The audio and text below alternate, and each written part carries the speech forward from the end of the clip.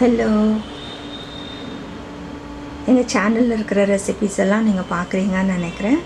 Subscribe பண்ணாதுங்க subscribe பண்ணுங்கள் இன்றைக்கி வந்து நம்ம ஒரு இட்லி பண்ணுற பண்ண போகிறோம் இது வந்து கொள்ளு இட்லி ஹார்ஸ் கிராம் இதை போட்டு வந்து நம்ம இட்லி பண்ண போகிறோம் இது ரொம்ப சூப்பராக இருக்கும்.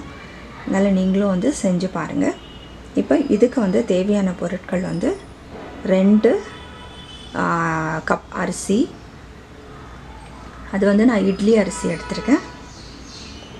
அரை கப் கொள்ளு அரை கப் உளுந்து. அதாவது நீங்கள் ஒரு கப் எடுத்தீங்கன்னா ஒரு கப் கொள்ளு எடுத்தீங்கன்னா ஒரு கப் உளுந்து நாலு கப் அரிசி. இதுதான் அளவு. இதுக்கு வந்து ஒரு அரை டீஸ்பூன் வெந்தயம் போடுறேன். நீங்கள் வந்து ஒன்று எடுத்திங்கன்னா ஒரு டீஸ்பூன் வெந்தயம் போடுங்க. ஏன்னா வந்து கொள்ளு வந்து கொஞ்சம் ரொம்ப சூடு. அதனால் வந்து நீங்கள் வெந்தயம் கொஞ்சம் எடுத்துட்டிங்கன்னா கொஞ்சம் நல்லா அது குளுமை கொடுக்கும். இதை வந்து கொள்ளையும் அரிசியும் நீங்கள் வந்து ரெண்டும் சேர்த்து ஒரு அட்லீஸ்ட் ஒரு சிக்ஸ் டு செவன் ஹவர்ஸ் வந்து ஊறணும். ஏன்னா கொள்ளு ஊறுறதுக்கு கொஞ்சம் நேரம் எடுக்கும்.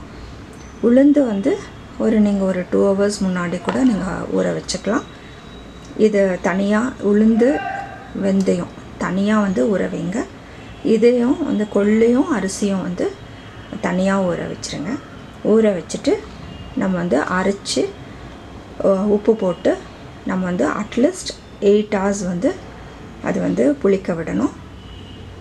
எயிட் ஹவர்ஸ் கழித்து நீங்கள் பார்க்கும் போது நல்லா வந்து புளிச்சு உப்பி அரிசி மாவு வந்து நல்லா உப்பி இருக்கும். நான் அரைச்சி மாவு நான் காட்டுறேன். நல்லா வந்து உப்பி நல்லா வந்திருக்கு.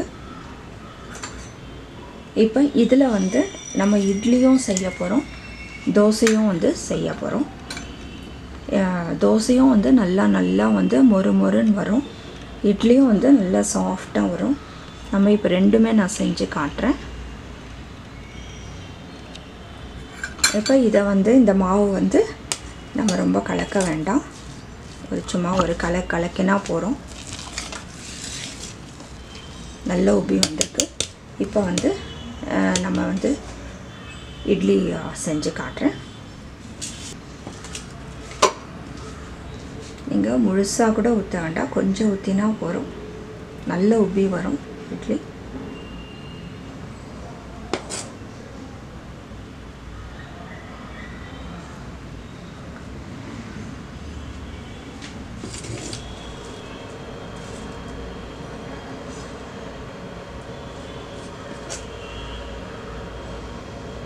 இட்லி பாத்திரத்தில் தண்ணி வந்து நல்லா கொதிக்க விட்டுட்டு அதுக்கப்புறம் வந்து இதே போல் எல்லா தட்லேயும் ஊற்றிட்டு கொதிக்க தண்ணி கொச்ச பின்னாடி நீங்கள் வைங்க. நல்ல சாஃப்டான இட்லி வரும்.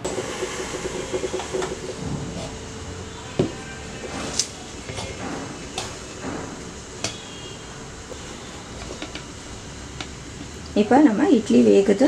நம்ம வந்து தோசை ஊற்றிக்கலாம்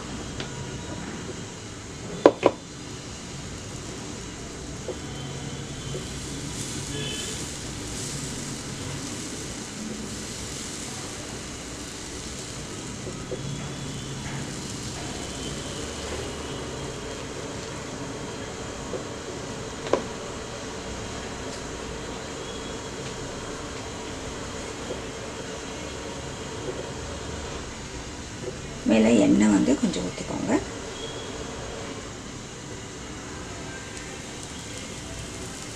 இது நல்லா வந்து நல்லா மொறு மொறுன்னு நல்லா வரும். இந்த தோசை ரொம்ப டேஸ்ட்டாகவும் இருக்கும்.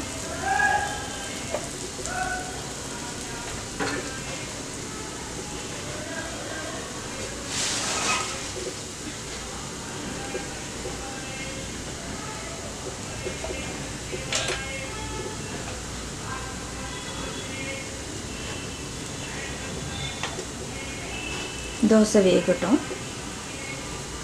இது வந்து நல்லா வேக வச்சு எடுங்க. இப்போ இட்லி ரெடி ஆயிடுச்சு.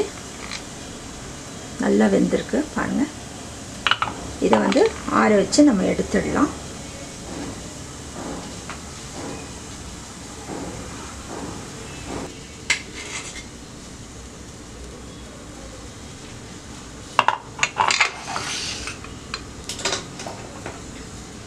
இப்போ தோசை நல்லா வந்து ஒரு முருன்னு வந்துருச்சு. திருப்பி போட்டுடலாம்.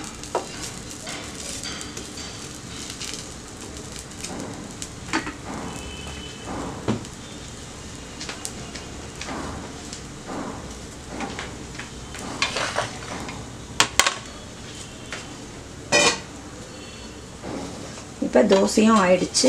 நமக்கு இட்லியும் ஆயிடுச்சு. இப்போ எடுத்துடலாம். இப்போ பாருங்கள் நல்லா வந்து இட்லியும் வந்து நல்ல சாஃப்டாக வந்திருக்கு. பாருங்கள் நல்ல சாஃப்டாக இருக்குது தோசையும் நல்ல மொறு மொறுன்னு வந்திருக்கு.